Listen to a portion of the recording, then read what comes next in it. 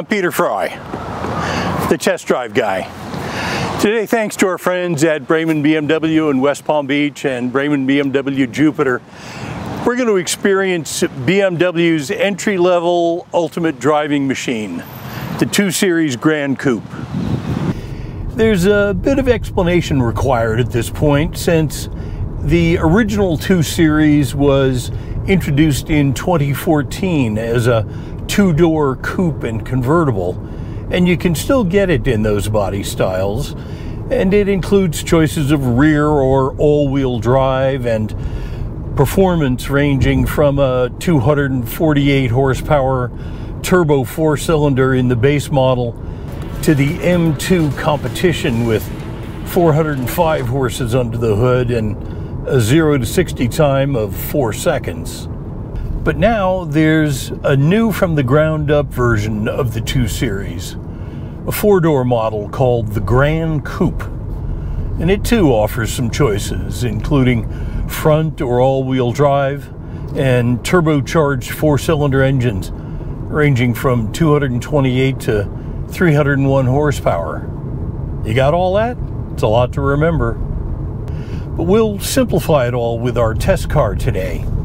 It's the most popular model, the 228i xDrive, which means 228 horsepower delivered to all four wheels through a standard 8 speed automatic transmission. That said, the lists of standard and optional equipment are both as long as your arm, which is to say that while this may be BMW's entry level model, you can order it up with pretty much anything you'd find on the higher end models.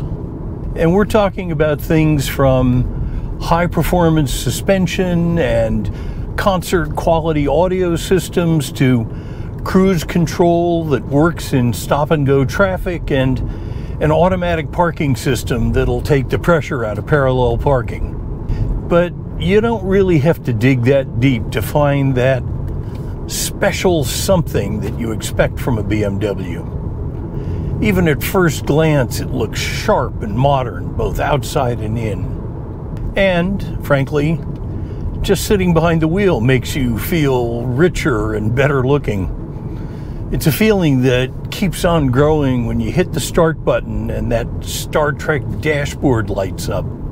And then about 30 seconds into your test drive, when you really hit the gas for the first time and kind of toss it into a corner, that's when you realize that the essence of the 228i is that it's a compact luxury rocket ship designed for zipping around in an urban environment.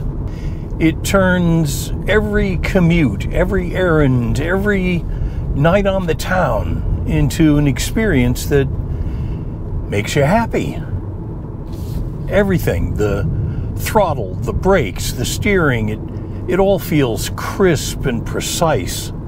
And the dimensions are somehow just the right size to make you feel comfortable in traffic.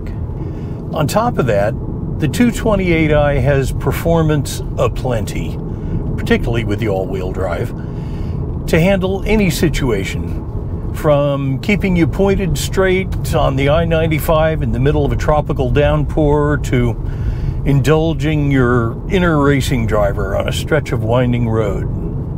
And if miles per gallon and cargo space are important to you, the EPA says 27 miles per gallon city highway, but a major car magazine tested it and actually got 37 miles per gallon in daily driving. And they also mentioned that with the rear seats folded down, they were able to fit 14 airline sized carry on bags in the back. Not that any airline is going to let you carry on 14 bags, but you get the idea. So, if all of this sounds like what you're looking for in a car, stop by Braman BMW West Palm Beach or Braman BMW Jupiter and tell them you want an entry level urban rocket with plenty of luggage space. They'll know what you're talking about. I'm Peter Frey, the test drive guy.